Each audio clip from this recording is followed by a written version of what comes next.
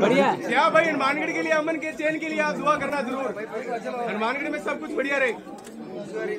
और सभी का सलाम भी बोलना सामने मेरे आ गया हाँ। अरे खेत में तो है। अरे खेत में है। अरे बात है बताओ रोड वाली क्या भाई हनुमानगढ़ में और आपको दिक्कत तो नहीं आने में? बाईपास पे।